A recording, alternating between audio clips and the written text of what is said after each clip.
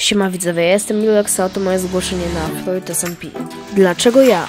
Myślę, że jestem dość młodym, ambitnym youtuberem. Miniaturki też mam nie najgorsze, a przynajmniej staram się poprawiać. Montaż tak samo cały czas u mnie się rozwija. Tak czy siak zacząłem w sumie miesiąc temu, dokładnie 1 listopada. Jak widzicie na moim kanale zebrałem coś około 500 subskrypcji w zaledwie miesiąc, więc myślę, że całkiem spoko wynik.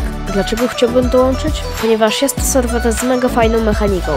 Zresztą sami zobaczcie. Jest to serwer, na którym będzie obowiązywał plugin customowych biomów, drzew i owocy. Z liści będą wypadać różne owoce, np. gruszka. Na ich trafienie będzie około 50%.